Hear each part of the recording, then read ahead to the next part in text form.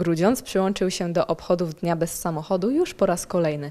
Jak co roku dla młodszych mieszkańców przygotowany został szereg atrakcji, m.in. piknik na Stadionie Olimpii, ale co najważniejsze, wycieczka komunikacją miejską. Zapraszamy wszystkich naszych mieszkańców do korzystania z komunikacji miejskiej.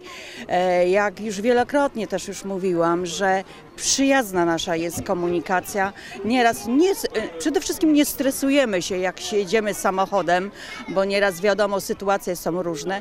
Jadąc autobusem, jadąc tramwajem, możemy zobaczyć, co się w koło dzieje, możemy kogoś poznać, możemy książkę poczytać. To są plusy naszej komunikacji miejskiej. Dzisiaj jest tak, że przyjeżdżają dzieci i będą zwiedzać zajezdnię tramwajową. Później jedziemy tramwajem do Tarpna. Oczywiście dzieci dostaną bilety, żeby wiedziały, że od samego malucha trzeba pamiętać, że trzeba mieć bilet, trzeba go skasować. Dzisiaj idziemy na Stadion Olimpii, I będą różne konkursy i, i dostaniemy soczki. Dzieci wraz z opiekunami zostały oprowadzone po zajezdni tramwajowej, o której opowiadał przewodnik, a następnie wyruszyły na przejażdżkę tramwajem na osiedle Tarpno.